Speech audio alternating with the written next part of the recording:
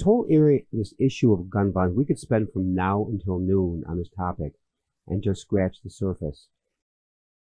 You're always going to get the fight, well, you know, the, the, the right to bear arms, which I understand.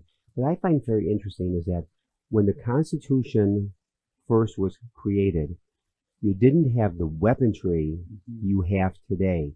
That's one thing to bear a gun and have in your on your in your pocket, but these assault weapons. We talk about the killings must stop, and, and it, if anything, it's getting worse.